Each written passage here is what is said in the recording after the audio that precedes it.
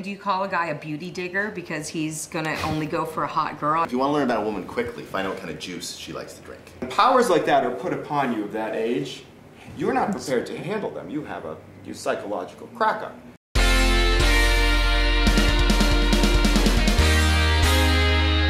Today, smart girls marry money. That's what authors Elizabeth Ford and Dr. Daniela Drake say. And later in the show, PowerPoint comedian Tim Lee joins us. And then Darren Campo, head of programming at TruTV, takes us on a sci-fi journey. But up first, Elizabeth Ford and Dr. Daniela Drake. Great to have you both here today. Thanks Elizabeth, Dr. Drake. Nice So forget love and go for the money. Is that it? That's pretty much it. the guys are going to love this. This is the show for the women today, I guess. Uh, Well, that's certainly the one line, but we were actually not saying that. We're saying that it's important to consider all things. Right now, most women say, all I want is to fall in love. I don't even care if he's got a job. I mean, what we hear from a lot of women is, I want a guy with a job and a car. They're not even wanting much more than that. They're really in love with love. And I think, we both think it's gotten women into a lot of trouble. So we're sort of saying, take a step back and let's take look at the whole picture. And the, and the title is meant to get your attention. Obviously, it does. It's meant to, It does. you know, be upsetting and, you know, have people go, "What? Are you kidding me?" Because it started out as sort of a joke between the two of us. Like we're both professional women. We both work very hard, and we have kids, and and we're like, "Oh gosh, you know, we should have married for money, so we could be kicking it right now." and in, instead, as we got into the research, we found out that women uh, have a really hard time out there. It's not so equal as we had thought in terms of earning potential and you know a lot of factors added up to, to have us say hey you know what? This is worth talking about. This is worth discussing. And and the title you know. So you do think that there are some women who have, you know, as you've been advancing in your careers, you see the woman who stayed at home and married the guy and is doing better than the woman who's been working her ass off all these years. Well, it's true, and it's not so much. And we're not saying don't work because we think that our work is part of who we are, and we love. You know, we want to be in in the world. You know, we don't want to be at home like both of us each say. You know, being the stay-at-home mom wouldn't be the best choice for us because we we want to be in the world and you know have fun. Although we're not going to say it's not fulfilling for a lot of women, but in the end, your career is one of your biggest assets, and we certainly know that when marriages fall apart or should your partner die. So we're also saying it's really important to invest in your career, but it's also really important to invest in your marriage. Your marriage is probably the most important economic relationship you'll ever have in your life. so you're going back to the economics there again. Well, you know what? For most of human history, before the last 150 years, marriage was always based on economic and political expediencies. Right. It's really been in the last 150 years that love conquered marriage. Right, well, and really, it's been a debate for a long time whether you should marry for love or money, and this is one of the few times or more memorable times recently I can think of where they just came out and said go Well, for that's the thing is that people are afraid to even talk about it. I mean, people are just aghast that you would even consider any other thing but love as as a reason to get married. But what we found in our research is that the actual love, the romantic love piece is um, it's biochemical you know it acts on the same part of the brain that is the same as addiction obsessive thinking and that that feeling the crazy feeling that oh is he going to call feeling only lasts about two years. So if you're going to base a lifetime partnership on this sort of madness of love i mean the, we looked at each other and said, you know, there's a lot of other things that you could you should consider, and economics should be part of that piece, especially if you're planning a lifetime commitment, a lifelong partnership. You know, it should be more than just you know being crazy in love. So, for the, the, the gold digger portion of it, how, how common is that, do you think, these days? You know, for us, because we were always professional, it never even crossed our minds. We were brought up, raised on the idea that we were going to be professional women. We're very much in, brought up by feminist mothers and in a feminist mindset. And but we also wanted that love piece because we were also raised on that. Um, it never even occurred to us throughout most of our adult lives that you should marry for any other reason than for love. In fact, I got out of my. Did you read this book? Yeah. That's not what the authors of this book But say. uh, no, actually, actually not true. We do say, you know, love is important, but we say that, you know, romantic love is something other than that long-lasting love, the partnership love. Romantic love is a madness that falls away, and studies have shown that now. Um, we're saying, look at the whole piece. We don't think we would have gotten anybody's attention if we'd named the book "Don't Marry a Slacker." I mean, everybody really knows that, Yeah. right? But I think, though, whether it's just guys or people in general, though, do think there's a difference between men and women in the extent that maybe women do look more for money in, in the marriage, or at least that's a stereotype, or in the relationship, whereas guys are probably focused more on looks or whatever. And do you that's think what that's we true? say. I mean, do you call a guy a beauty digger because he's going to only go for a hot girl? I mean, I think our society signs off on, you know, um, everything from plastic surgery and you know working out, and looking a certain way that that's valuable. But then to, to say that a woman then values a man's earning potential, it suddenly becomes crass. I'm like, eh, that doesn't really make sense to me because I think that if being young and beautiful is worth something, then you know it's worth something. I think that's what our book is talking about. It's like you know which is why is it why is one crass and the other not? You know why can't we at least talk about it? And to put it a little crassly, I guess you said to use it before you lose it, right? Absolutely. Well, that's certainly true. It's been a lifelong thing that, I mean, or sort of a, a human history long, that men want women for their fertility. And we all know that women, when they're young, are very attractive to well, pretty much all men. And as they age, they're less attractive to pretty much all men. Not that, that there aren't men that are interested, aren't interested in 40 year old women.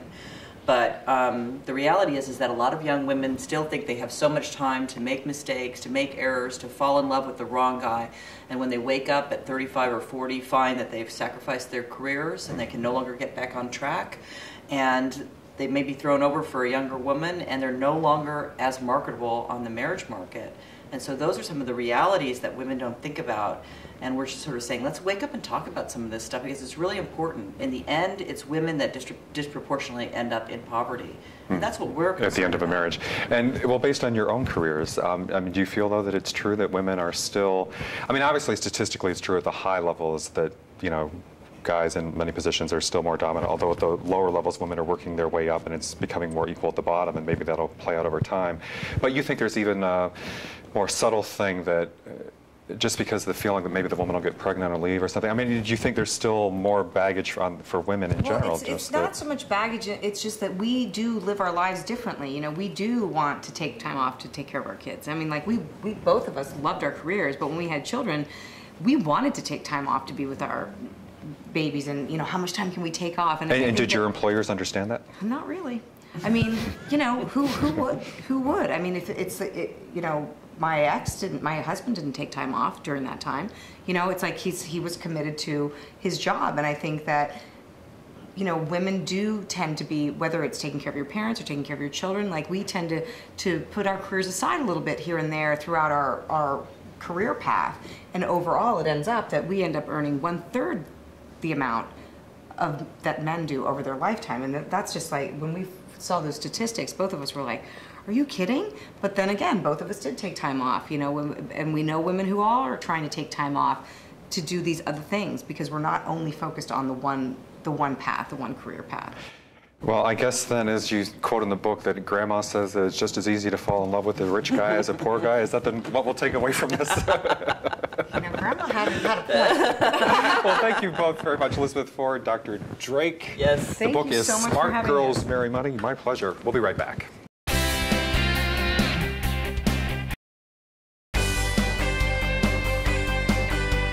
Just like the sodium and chlorine uh, molecule, an athlete and his wife are very strongly bonded when they're in the minor leagues.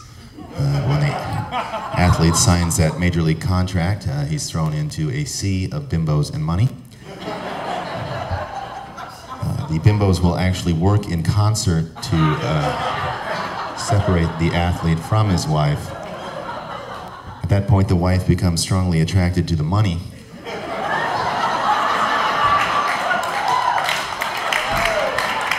And we are back. Joining me now is Tim Lee, the PowerPoint comedian. Great to have you here today, Tim. Thanks for having me, Greg. So I want you to know I've experienced death by PowerPoint, but I never really thought of PowerPoint as comedy before. Yeah, I think everyone's been through death by PowerPoint. That's sort of, Isn't that awful? You go into one of those conference rooms and they pull up like a 50-page PowerPoint, yeah, and they bore you to death. and some bosses really get off on that. Like Yeah. you got to have these 50-page PowerPoints that are. Yeah, it's gruesome. it's gruesome. I've been there, and to, that's kind of what I started with. You know, I, I started doing my first jokes when I was giving uh, seminars in grad school. So I, Oh. I'd throw in a PowerPoint joke into a, a what otherwise would be a boring seminar. Humor always helps a PowerPoint Yeah. presentation. And now you've taken this to an art form, to comedy, pure comedy. Now it's pure comedy. And yeah. mixed in science of all things and biology. Yeah, it's kind of my background, you know. So uh, I always wanted to do jokes about uh, science, all fields, but a lot of it's biology. And uh, so, you know, the PowerPoint, I've been doing it during seminars anyway. So you start, you're working on your PhD in biology at UC Davis? Yeah. And that's when you started. Because you don't often think of ecology and evolution as being the source of. If you go to the comedy store, you don't hear many biology jokes these days. no, you don't. But you used to hear a lot of Star Trek jokes. That's about as close as You're a Star, Trek- Star Trek fan? Uh, yeah, of course. Growing up, I loved Star Trek, uh, all kinds of science fiction, uh, Star Wars, anything. Yeah. But you know, your videos have been very popular on YouTube. You're getting hundreds of thousands of hits on those videos. Yeah, that's been kind of my boon. Is uh, like started taking off on YouTube, and then people started noticing it, so I took it on the road, and uh, it's really just built the audience sort of in a, uh natural, granular fashion. So it's, it's been a lot of fun. And one thing I did learn today that, from that last. Oh, you can incorporate this into your material now, right? I'm gonna have to keep that book out of my girlfriend's hands. That's all I gotta say. Uh, Yeah, I thought they pulled back a little bit. You know, if you read that book, I'm telling you, they say go for the money. I thought Oh, really? yeah, they were putting a little nicer spin on it here in the studio. But if you read that book, point they, in my uh, life, I'd be happy to have enough money that I could do all of my shopping at Whole Foods. well, you can always marry for money too. But you know, it, it works both ways. I so. I could try. Yes. Actually, you know, I didn't tell them this, but um, they say that the heir, to, one of the heirs to the Walmart fortune, woman, um, had a problem whenever she went on a date because the guys on the first date would tell her that they were in love with her. Oh, really? Wow. and she knew that there was no way that they were actually in love with her on the first date, that it was more like they were in love with the $20 billion that she owed in Yeah. Walmart, you know? They got to get better game than that. You can't. I know. First date. No. And guys with money are onto that too, right? They know when. Uh, so it's kind of fun. But I guess, but sometimes, you know, with guys, what do you think? I mean, as far as trophy wives, I mean, I guess guys are think it's okay. Or, I mean, they know. Well, Yeah, they're, they're kind uh, of looking for those kind of women sometimes. the that- problem with the trophy wife is that it doesn't come with a trophy personality, and so you end up living with. Uh, the shell gets. but I guess old. some, but I think some guys don't care is the thing. Yeah, they don't care, but generally those aren't the type of guys that you know. Well, so you have a PhD in biology, though. Yeah. PhD in biology. So yeah. you want somebody who can tell ecology and evolution jokes, you know? So that would be nice. As long as she can laugh at my jokes at this point, that's uh, that, that would be fine with me. Yeah. And what kind of, I mean, do you have a very specific audience or do you really get almost anybody coming to these? I mean, because they're funny when you watch the videos, but do most people think, oh my God, it's biology, I'm gonna. Uh, no, it's pretty. Uh, well, I find that my audience is um, generally very intellectually curious. They're people um, that like, and they're well read and. Um, For those Darwin jokes. and Darwin, any kind of joke. But I, I, I, thing is, I try and make it so that you can, from the setup for the joke, you can get the punchline. So you don't have to know about, you know, signal to noise ratios to get the joke about signal to noise ratio. I just explain to you what it is, and then you get the joke about it afterwards. That's kind of a lot of where it comes from. But uh, yeah, the people who come to my my show, they want to learn something. A lot of them while they're laughing, and uh, so I get I do well in theaters and places where people like to go see. Uh, Well, I liked your comment about Larry King when he started his first talk show. It Oh, was yeah. like 50 million years ago. That's in my. Uh, And then his first wife was. yeah, he goes for the trophy wives. That's right. And uh, You had to watch the video, okay, I have to admit. So, do you have any thoughts on dating and relationships, and other than we were talking about the financial side of it, but just, um, well, um, I know you don't have your PowerPoint here, yeah. so I'm putting you on the I've spot. Got, I've got a lot of. Uh, yeah. Well, for those women, uh, if you really are looking for a man with money, I'll tell you this: don't go after the guy with the BMW because it's probably leased. Uh, you want to find a guy with a, with a lot of money. You go to Whole Foods, you look for a guy with a full basket. Can't get financing on organic cheese.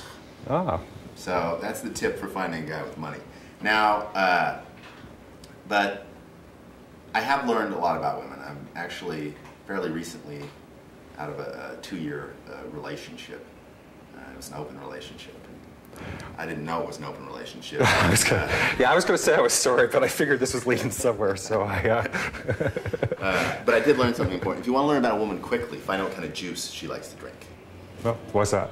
She's into apple juice. She's going to be a homey woman. probably a good cook. If she's into orange juice, Did you say homely or homey? homey. Okay. You don't even know what kind of juice she drinks to know what she looks like. okay, yeah, fair enough. She's into orange juice, she can be a little more outdoorsy, a little more zesty. She's into cranberry juice, uh, she's got a urinary tract infection. Cut that date short. Okay. but you know, That's your biology coming in handy there, folks. do you agree with that, John?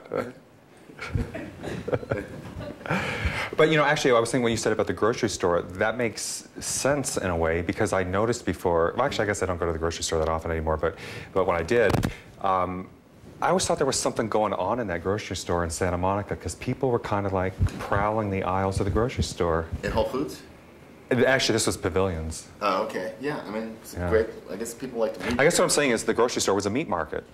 Yeah, and literally. Yeah. Um, but I, I just wasn't paying attention to whose cart was full or not. I guess that's yeah, the problem. that's what I'm saying. That's what I thought. Because, you know, I, I thought about that a lot. Because my friends who, I don't have a lot of money, but my friends who do have a lot of money, they try to hide it generally so that they don't attract the kind of oh, so, they, that's so looking they're money. Yeah. they're wise to it. And then I noticed in Whole Foods, I'm like, it's easy to tell who's got money. This guy's putting like 10 pounds of organic cheese in his cart. He's spending $300 on cheese. This guy's got money. Ladies could figure it out real quickly in here. So That's why the Whole Food parking lot is always jam packed. enough plugs for Whole Foods, huh? yeah, yeah. Actually, they should be one of our sponsors now, I think. But uh, Yeah. so, um, um, what have you got coming up anytime soon here in town, here in Oh, LA? Um, In LA, I- August 20th, I'll be in the Hermosa Beach Playhouse. Um, and then I'm doing, next week, I'll be in San Diego. I'll be doing the Carlsbad Village Theater, uh, shows and shows, which is in Lemon Grove. And then I'll do the Coronado Playhouse. Okay, that's all you get. That's All enough of a plug. Thank you very much, Tim Lee, the you. PowerPoint comedian. You can check him out on YouTube. Up next, Darren Campo from TruTV. We'll be right back.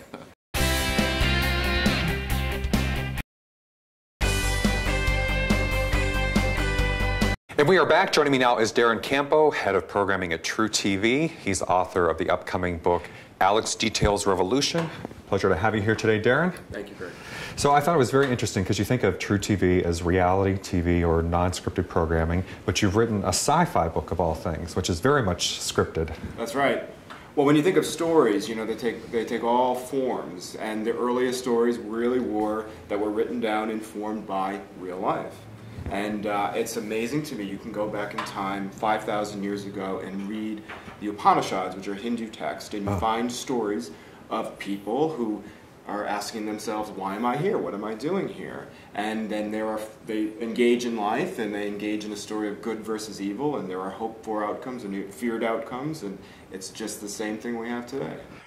Okay, so truthfully, I wasn't just impressed that you wrote the book, but the fact that you just quoted like ancient Indian texts for a development executive in Hollywood. No offense, but I was actually impressed by that because I thought, my God, this guy's actually read. Uh, you quoted Schopenhauer and, and Nietzsche and various philosophers, and you know, you don't always think that it goes that deep in Hollywood. Pardon my saying it. Well, but- you know, maybe it's because I wrote the book before I actually uh, became Got sucked in, huh? So. But so was that an asset or a hindrance then to have that kind of a intellectual background, if I may say it, for you know, for You know, um, when you are uh, of a certain age and very much engaged in something as I was when I was writing this, and I was uh, reading a lot of uh, Schopenhauer and Joseph Campbell, and I was very much into physics, and I had these characters who I wanted to sort of set off on this adventure, and they're on this adventure to Pluto to save the world.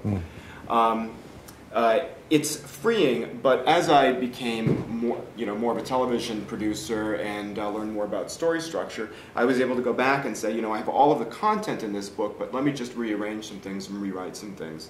And I have a lot of So, help so you've been way. continuously kind of rewriting it over the years. Then, it's, uh, it was a three years of to research and write the book, and uh, ten years to actually get it to where uh, Wow. where uh, it's been published. a little bit different from TV, though, where you just have to kind of crank it out, right? Yeah, I wanted it on the air yesterday.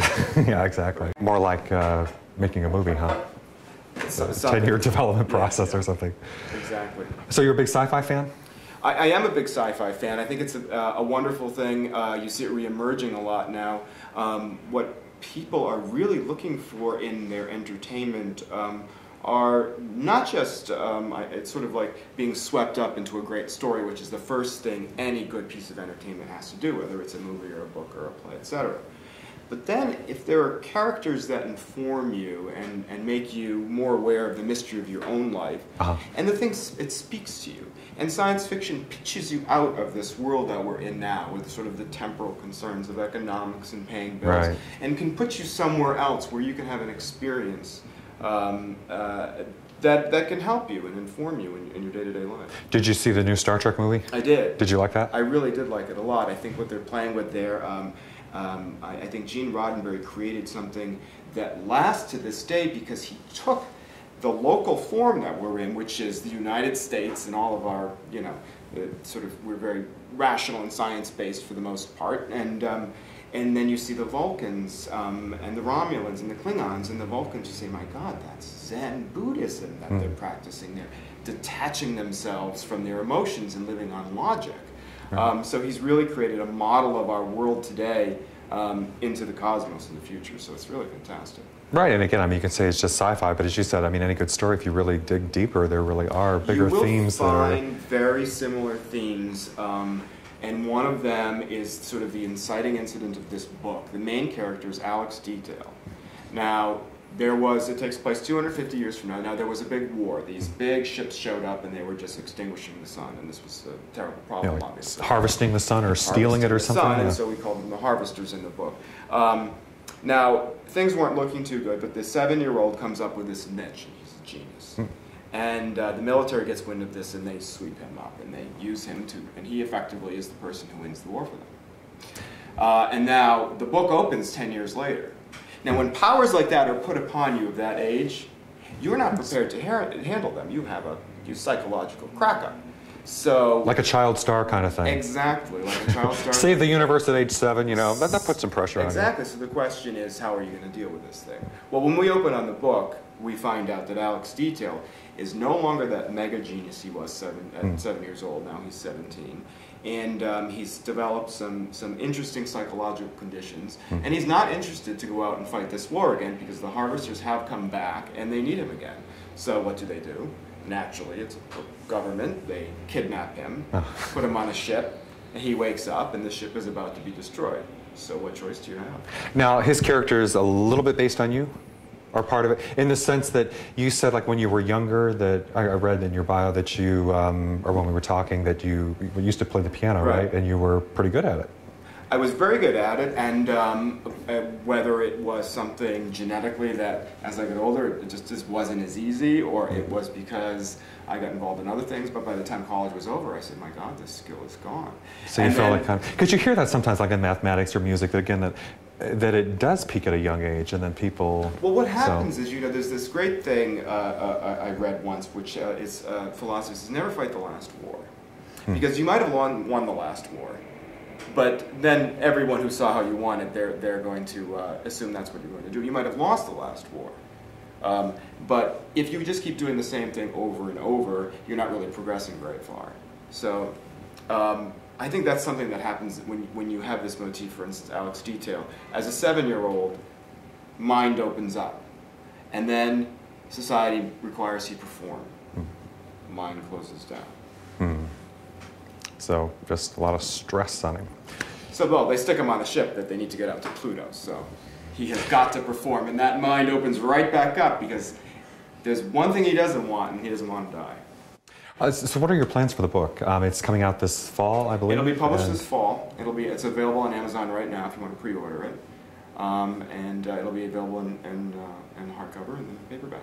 Well, you know, I, since you're a development executive, I couldn't help thinking when I was reading the book, I thought, I wonder if he's going to make this into a TV show or a movie or any thoughts along that line? Well, you know, it's I think having you know you write a book um, and it's almost like having a child that sort of goes out in the world and uh, you have to let it go. I think J.K. Rowling, uh, you know, she said, "Here you go, Warner Brothers," and, uh, and there they went. Well, yeah, that'd be a nice path to follow, right? Here you go, Warner Brothers. There you go, Warner Brothers. well, thank you very much, Darren Campo from TruTV. The book is Alex Detail's Revolution. Look for it this fall. Thanks, everybody, for watching. We'll see you next time.